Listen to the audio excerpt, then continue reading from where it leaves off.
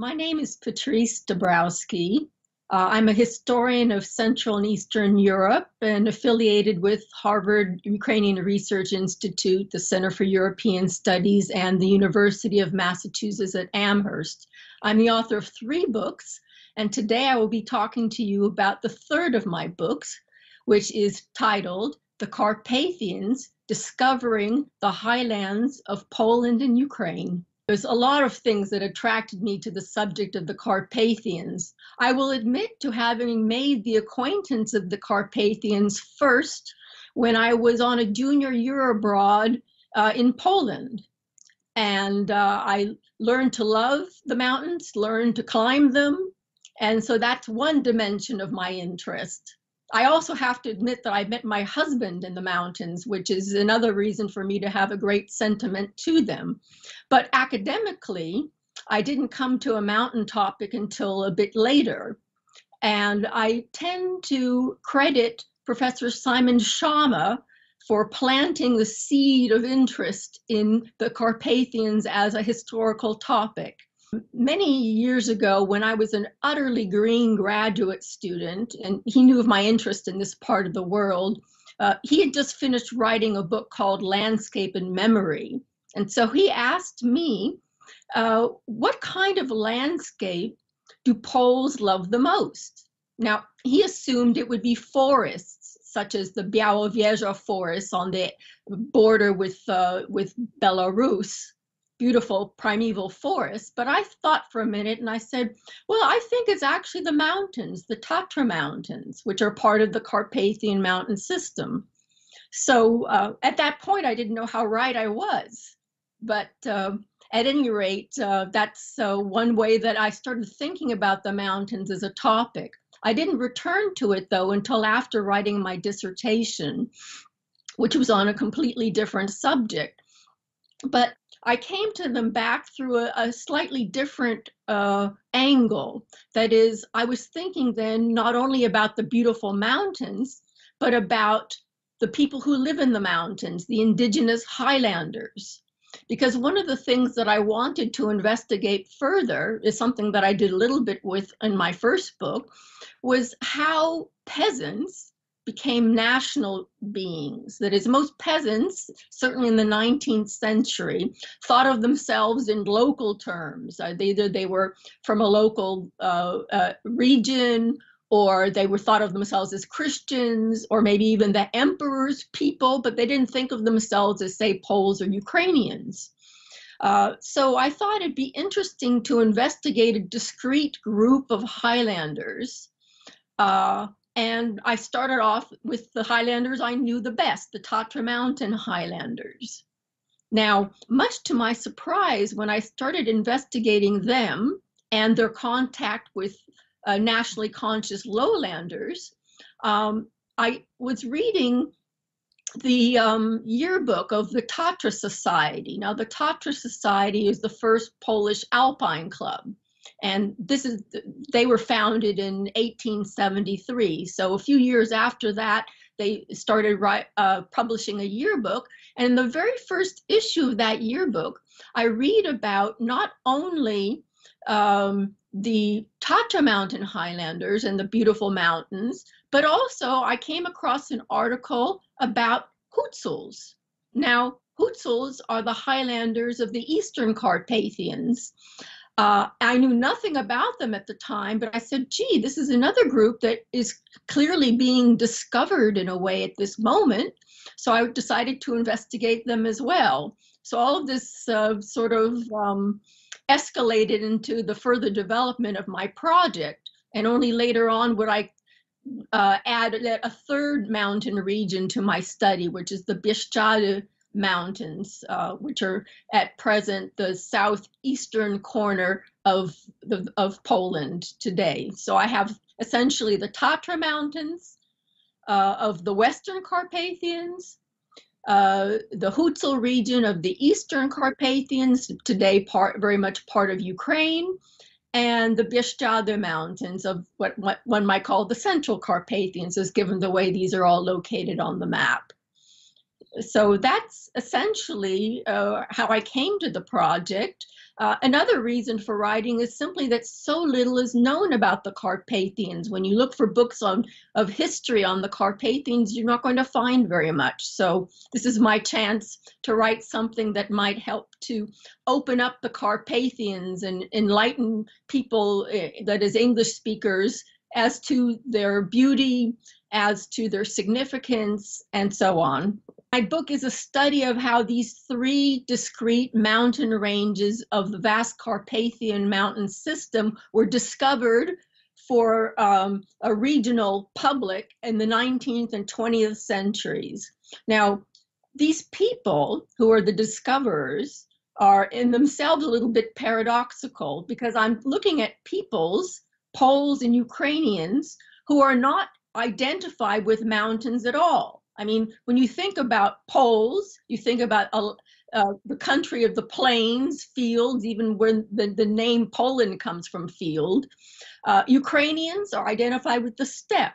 So for me, one of the interesting things was how did they manage to become so enamored of the mountains and put great stock in what they found and to take advantage of this uh, rarefied position up in the mountains to rethink problems of the lowlands. So I, I certainly spent some time in the mountains in all three areas. Uh, but one cannot write a book of history simply based on one's walking through, you know, hiking through the regions and meeting people there, although, of course, all of those contacts proved to be very useful. Uh, I did a lot of my research in the archives, libraries, and museums of Poland, Ukraine, Austria, and some work in the United States. Although I also had a very interesting uh, source who was uh, or is indeed uh, in uh, Australia. This is uh, in the, the for the last part of my book because my book is divided into three parts: the Tatra Mountains part, the uh, Eastern Carpathians part and the Bieszczady part. Well, in the Bieszczady part, since the, the discovering took place after World War II, this historian finally got to meet, at least via the internet, someone who was actually participating in the discovering at the time. So I have this contact uh, in Australia because he ended up emigrating from Poland to Australia uh, who was sending me scans of his beautiful archive. And so this is another way that I was able to do research, but primarily it was through the, the normal uh, kinds of archives. I mean, the archive in Ivano-Frankivsk, for example, was very, very important for me to understand what was happening in the Hutsul region in the interwar period, that is, in the 1930s. Um, Another interesting place where I was able to find material in Poland was in the Central Military Archive. Now, you wouldn't assume that a topic dealing with the mountains would have a military dimension, but indeed it does. So there's all these different things that by tracing what I was able to find in archive X or Y or Z, it led me yet to another place and another destination, and, and I was able to gather enough material to be able to write this book of course there is some scholarship in those languages. I'm i'm more concerned you know when i was talking earlier about the fact that in english you really find gener- uh, relatively little and it's always that the carpathians are this terra incognita. No one quite knows where they are. They're sort of mysterious and dark and whatever. One of the things that these alpine clubs that were springing up during the period of my research were doing was research and the mountains because one of their um, uh, what's the word I'm looking for? Uh, one of their mandates was to do research and to popularize and the like. So these are pretty much the beginnings of research being done, scholarship being done. I mean, not entirely the beginnings, but it's early on in the game because these regions just were not very high on, uh, not very distinct on the radar of these two nations prior to these uh, periods. There's very little that you would be able to find on an earlier period. I mean, one of the earliest sources of information on the mountains is uh, actually, it is actually from the late uh, 18th century when the um, the Habsburg authorities gained control over what became the Habsburg province of Galicia. And so they sent uh, a scientist into the mountains to do research because they were interested in seeing if there were sources of of, of uh, economic uh, uh, enrichment for them there. There were mines, salt mines, gold mines, uh, you know, whatever else they could find. So this um, scholar actually traveled through the Carpathian Mountains and and noted the people there, noted what was available there, and reported back to uh, the Habsburg authorities. But that's really early in the game. Uh, the, the tourists start coming in really much in the 19th century, and those are at first very sporadic.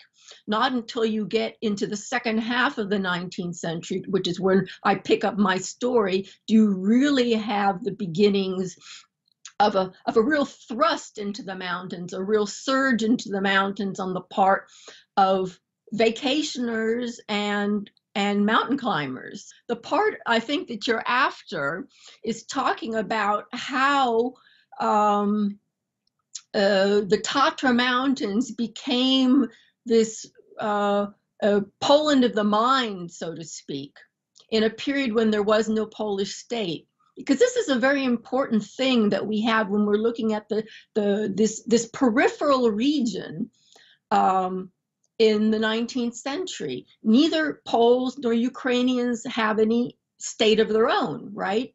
So their main preoccupation tends to be with things national. How do we create a modern Polish or Ukrainian nation? And they take advantage of being in the mountains to do that essentially. I mean, you have Zakopane, this um, mountain resort that now springs up out of this little village that was really nothing mid-century. A whole resort is created in the mountains and you have uh, Poles from all over coming there and vacationing there. It's it's sort of uh, it, it becomes very fashionable I, I, know who you're referring to because it's Anthony Amato, who uh, wrote a, a, very wonderful book about the Carpathians. It just came out this last year. And uh, of course, he comes at it extremely from the position of environmental history. I mean, I read his dissertation when it first came out. Uh, many years ago, and now he's turned it into this wonderful book. So I was very happy to see that. Well, of course, the, the whole thing is with the discovery of these regions comes the development of the regions. Now, one of the things that's interesting about the discovering is that it tends to appear at times when at least the discoverers feel that the local population is in crisis uh, for let me just give you the example from the Tatra Mountain region. I mean, one of the sources of, uh, I mean, these, these are hard scrabble lands, these mountain regions, not very good for agriculture. At best, they're good for uh, herding sheep and, and things like that. But um, some of the uh, Highlanders had been employed uh, in the lumber industry for a certain period, and then that sort of went uh, uh, bust a bit and they lost their their sources of employment. In fact that led highlanders i mean Hi- highlanders migrated to the americas and things like that sometimes because of that reason because the economics were so difficult. But when you have the discovery taking place then you have a potential for developing a tourist industry don't you? And that's something that is very much developed in the course of my three uh, different discoveries. Obviously, they take place at different times. I mean, the Tatra Mountains are uh, developed in the late 19th, early 20th century. The Hutsul region gets its first taste of development in the late 19th, but particularly in the interwar period of the 20th century. And the Bieszczady Mountains get theirs only after World War II. Now, the development, of course, is a two edged sword because um, tourism, as Hal Rothman has written his wonderful book, is, is, is essentially a, a devil's bargain.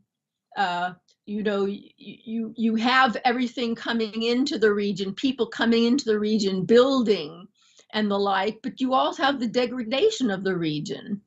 Uh, although uh, clearly for tourism, you have to be very careful not to push it too far uh, because then you are ruining the whole reason for being there in the mountains in the first place.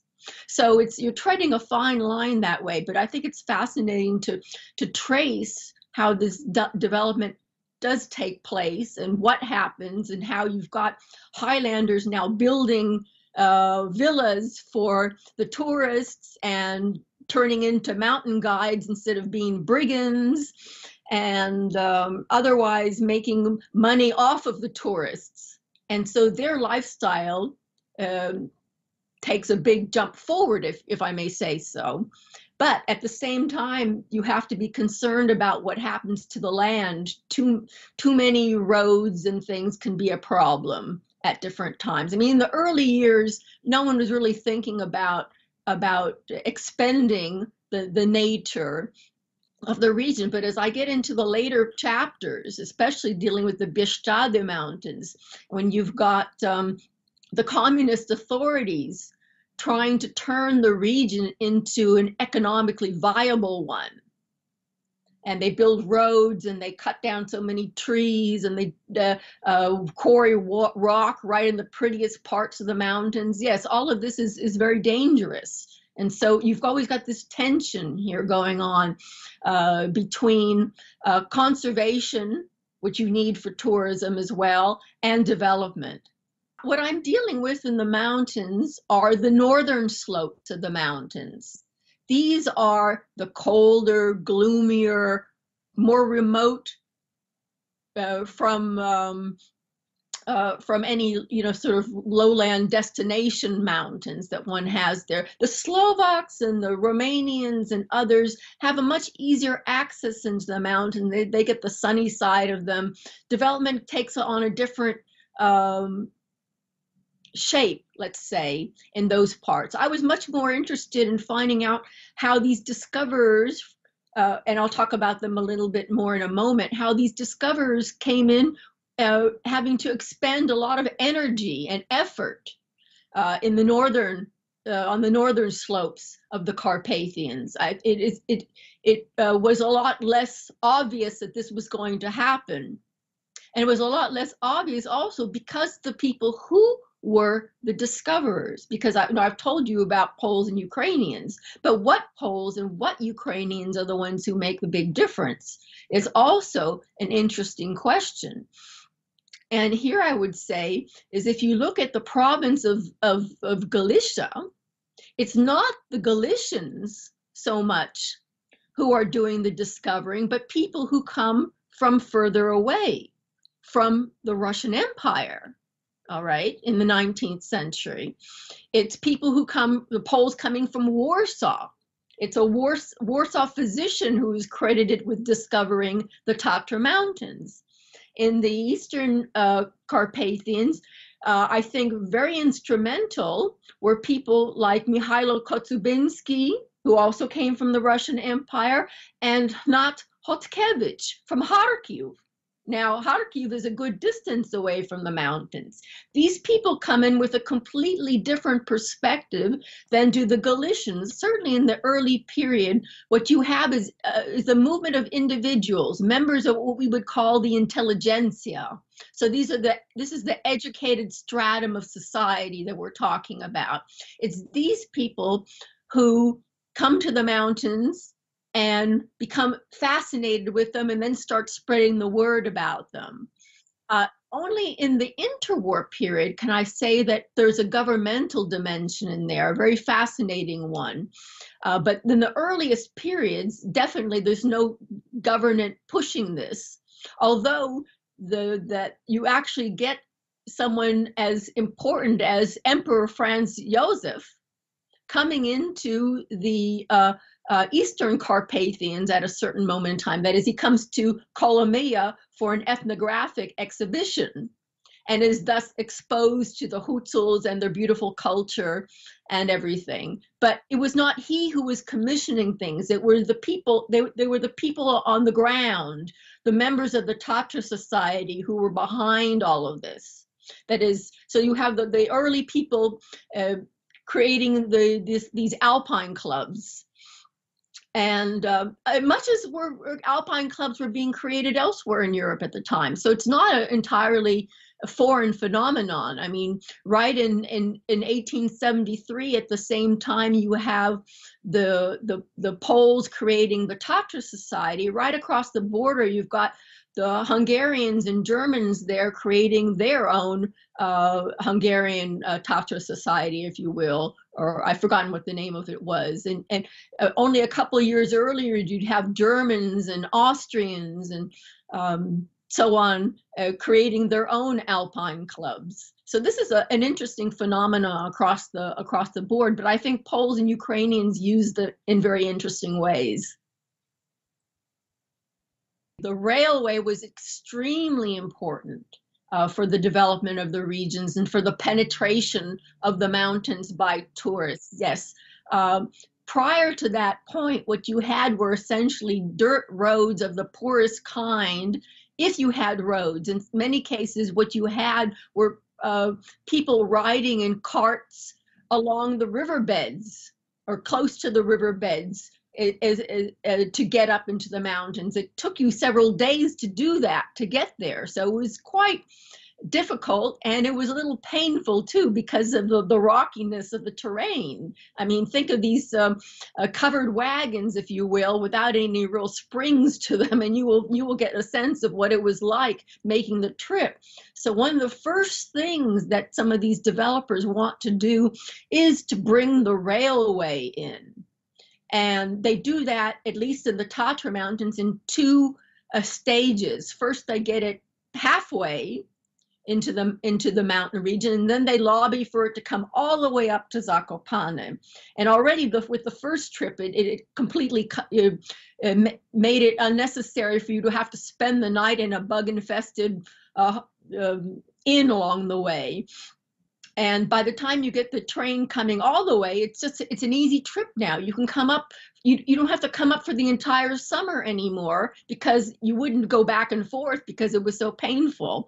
But you can come up for a shorter stay hike in the mountains climb them and and then go home. So it helps even to transform the type of tourism that is possible. I was surprised to see, well, first of all, I was surprised to see how important these outsiders, the, the, the, the lowlanders from the, the Russian Empire were in facilitating uh, the discovery. That was one surprise for me because I would have expected that it, it would have been a, a local development sort of thing. So having these Varsovians or people from Kharkiv or elsewhere coming in was was already to one uh, thing interesting. But um, I am also was also taken aback at how significant the mountains came to be uh, for these respective nations. Now, this is true, I think, to a greater extent uh, with the Poles than the Ukrainians, although I think Ukrainians uh, uh, were pushing in that direction. Is this that they didn't have as much opportunity given the later political developments to do so? Um, but the significance of the mountains transcended uh, the remote and peripheral position of the mountains vis-a-vis these two nations. What you had uh, taking place was the the the shaping of the mountains into a sort of realm of experimentation where where answers to the burning questions of the day could be worked out. I mean, you had this rarefied air of the mountains, uh, this new perspective on life. All of this became important, and so this is uh, these. This is one of the the, the main um, findings that I think I have is that the mountains were far from peripheral when you look at it that way, and that you know you usually think of them uh, as being more peripheral just because of their location. But at these moments of discovery, they became much more centrally important. Yeah, well, this is, of course, a wonderful question because remember, for the most part, we're dealing with illiterate peasants. And so for me to find, to track down what they actually thought was always um, like looking for a needle in a haystack. Uh, you know, I do know certain things because there were certain literate um, uh, Górale, certain literate Hutsuls who were able to write about uh, what happened. But I think, first of all, they were a bit bemused that people should want to come into the mountains and want to hike in them for pur- purposes of pleasure. I mean, for them, this was work you know they took their sheep up into the mountains into the the the the, the, the meadows to pasture them. This was not something they didn't climb mountains to scale peaks and say i was the first one to be here and all that. That it was completely foreign to them. So they were a bit bemused by all of it. On the other hand they were also thankful that they had people coming in and wanting to help them because it was not just that the Highlanders were coming in and thank you, you're here, and uh, we're going to do our own thing. They also were very interested in these populations and they wanted them to thrive. And so, you know, they they they helped them out. You know, in the Tatra Mountain region, you had a woodworking school founded for the Highlanders, or a lace making school founded for the Highland women, and things like that. They were think they were providing them with clover for uh, for their for their meadows and fields uh, so that the, the, the, land would be more fruitful uh, and things like that. So you have Highlanders actually, well, certainly in the Tatra Mountain region, waiting every year for these tourists to come and being very thankful for the amount of income that they were able to receive. So it was it made a huge difference in their lives again when you're talking about the, the the eastern carpathians i mean it's a big region the mountains are, and people in certain pockets of the mountains were the ones most to profit. Uh, for example, let's let's take the, the construction of the Stanisławów Woronienka railway that is going from Ivano-Frankivsk to the Hungarian border and beyond though those villages along that region were the ones to profit, not Hutsuls who were back up in the in the high mountains elsewhere. So I mean, it, it's it's not it's a spotty um, phenomenon. It's not an all-encompassing phenomenon by any stretch of the imagination. So there are always pockets of poverty, um, not too far away from pockets of, of greater affluence. So I mean, that would be part of part of all of this. Uh, if you look at the Tatra Society, again, uh, when I was reading those yearbooks that I talked about earlier and talking about the article written about the Hutsuls, that article was written by a Ruthenian priest from the village of Żabie, today's Verchovina. And he was very keen to cooperate with the Tatra Society activists. I mean, he wrote more articles. He's the one who helped found a branch of the Tatra Society out in the Eastern Carpathians and the like. So there was interaction there, you know, I'm sure that they they all the the the intelligentsias knew the languages back and forth. I mean, if you had a Ukrainian intelligentsia, they could read the Polish uh, scientific reports. I'm sure they did.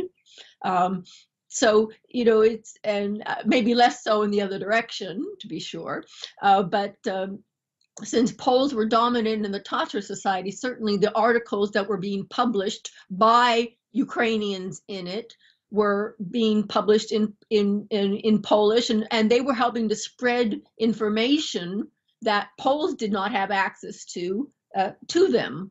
The battle for the soul of the Bieszczady. Well, the Bieszczady Mountains are quite specific in this book.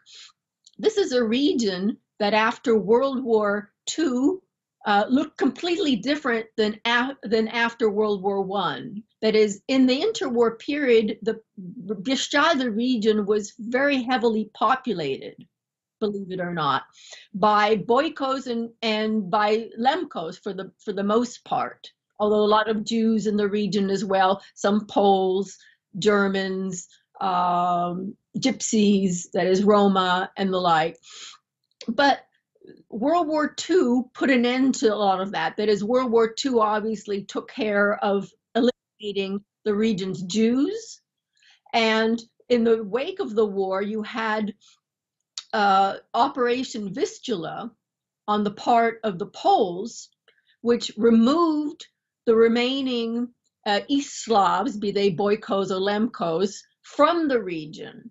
so you have this region emptying out, and of course the the UPA and everything was busy fighting in the region, burning down villages and other sorts of things, so that Poles couldn't move in. Um, so you had great destruction in the region, but uh, the region became a no man's land for a good decade or so and everything you know these you had these burned down villages that became overgrown with all kinds of plants uh, and things like that. It became a, a wilderness a, a, a, secondary wilderness and it became very attractive to polish climbers once they uh, once the, the beginnings of, of tourism returned to the mountains because again for a, a, long time it was uh, territory off limits really because of the fighting that was taking place so on the one hand, you have um, uh, tourists, and by tourists, I don't mean tourists the way we think of it in, in, in English. tourists means tourists of the hiking kind, the, the ones who you expend energy through their feet conquering territory. That's the sort of tourist uh, uh, that I'm referring to here. The the qualified tourists as it, the term later comes to be to be um, uh, uh shaped. But you have them on the one hand wanting uh, to keep this territory wild because it's now the only place in the Polish state where one can really trek across the region and hike to one's uh, uh, fill and enjoy the bountiful nature and, and, be away from the center of the country, which is becoming more and more industrialized. So you have this uh, uh, facet uh, going on, this part of the discovery. But on the other hand, the, this battle for the soul of the Bieszczady is being fought by these same tourists because they are up against the state. They're up against the central authorities who think that the Bieszczady Mountains should be treated just like any other part of this uh, uh, burgeoning socialist turned communist state, right? Uh, it should become a productive cog in the socialist wheel, so to speak. That is, uh, they they want to repeat repopulate the region. They want to develop the region, and again, they they build multiple huge highways in the region, roads all over the place, so as to uh, get to the lumber, the rich lumber that is there. Uh, they quarry rock. Uh, they uh, they build um, uh, reservoirs, that is hydroelectric power comes in, and but reservoirs which also turn out to be a, a huge attraction for the tourists. So uh, they can't win. I mean, people still want to, to, to vacation in this region. And as far as the, the battle for the soul of the Bieszczady goes, you have a group of students at a certain point students at the Warsaw Polytechnic who are out saying, We are rediscovering the Bieszczady. That is, we want the Bieszczady to, uh, to remain in their seemingly pristine natural state. And they propose uh, what they call a tourist preserve uh, that the whole southern region along the border be reserved only for the sort of tourists that they are. Now, the government is not crazy about this idea at all, and and, uh, and so the battle is essentially between the government still doing everything that it can to develop the region, and on the other hand, um, society uh, at least a, a, a, a, certain part of society very intent on not letting that happen. But of course, given the the, the weight of everything, uh, the government tends to have the say. And only towards the very end of my story, when we talk about the solidarity period in Poland, does it look like things are going to change? But I'll leave that there. I'll leave that for the reader to discover him or herself. I guess you could say that the government had a different attitude towards the Highlanders. Now, uh, again, recall that if we're looking at the Bieszczady Mountains, the Highlanders are removed, right? They they are sent into the, the newly gained western territories of Poland, that is, those who were not earlier uh, exchange in the population transfer that was taking place already at, towards the end of World War II. So you have these populations completely removed. They obviously they they don't like these populations. They they don't want them in the mountains, and some return to the mountains, but they don't want them there. They really want everything to be Polish in a real Polish nationalistic sort of way. So they have a completely different approach. They even have a different approach to the, the Tatra Mountain Górale, who are, for all practical purposes, considered Polish. And that is in part because they don't trust them. They were too business oriented already in the interwar period. They're too independent they're they're they're they're not the, the sort of uh, peasants or farmers that that one can more easily control and so they don't care much for them either and they they want to uh, and, and well among other things they they don't want them to over um, graze the, the Tatra Mountain, so they start trying to send the Tatra Mountain Górale to graze their uh, sheep in the Bieszczady Mountains. So they, they treat them in a very different way than we saw the Highlanders being treated both in the late 19th and the early 20th century.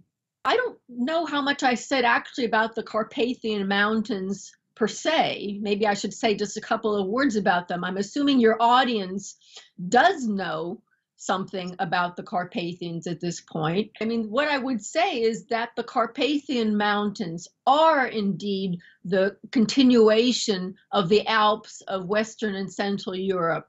They're this wonderful continuation that is are so little known in the West however, because of the vagaries of history. Uh, uh, again, I think I already did mention things such as uh, the, the, the, the the actual prominence the, uh, of of of the physical feature of the Carpathians, which again, no pun intended, uh, is important for the region.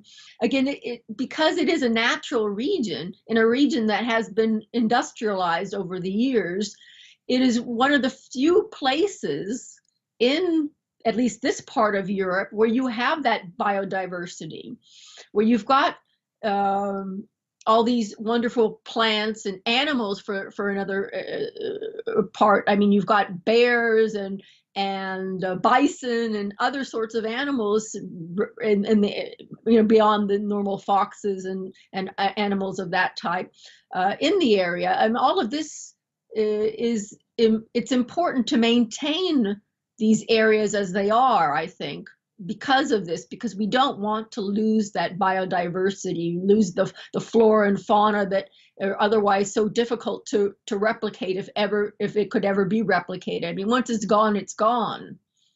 And I don't think anyone who knows the Carpathian Mountains wants that to happen. Well, what I'd like to do is continue working a bit on the Carpathians. I mean, I have my book focuses on shall we say, a relatively narrow topic that is the actual discovery of the mountains by these lowlanders. But there's much more that can be done with the topic overall. It's not just, I mean, I, I look at three discrete moments in time that is, you know, the little micro histories, but, you know, work such as Anthony Amato has done that takes a longer look at things, or even going into the more recent period uh, I, I, can I can tell you that I, I had actually written a uh, an epilogue to the book that I ended up not using, which takes things up much more recently, and perhaps I will do something with that. Uh, so a little bit less deep historical uh, work, but perhaps also interesting. Oh, there's one last thing that I wanted to, to say. The uh, significance of the book, I think, is also that uh, it's these discoveries of these regions of the mountains that have helped to shape the way both Poles and Ukrainians view the mountains and the highlanders of the mountains. I mean, even if you look at things uh, today, Poles since the late 19th century have become a, a, mountain climbing nation. I mean, they were among the first to uh, reach the peaks of the Himalayas. Uh, Pole Jerzy Kukuczka was able to to do the what do they call the Himalayan crown to to summit all those 14 huge huge peaks that that uh, uh, Reinhold Messner first was able to do. So you have Poles pushing to the mountains. You can't explain it unless you know about the discovery of the mountains. In the Ukrainian case, you also have this fascinating aspect of Ukrainian culture seizing upon the Hutsuls and their culture. Uh, think only about Ruslana uh, from the music side of things. I mean, uh, her wild dances. Uh, and so all of this is still very current in in in uh, Polish and Ukrainian society, I think, in, in very interesting ways. Well, thank you so much for the opportunity to talk about it. I will admit the conversation went by very fast, and I was very pleased to be able to answer your questions.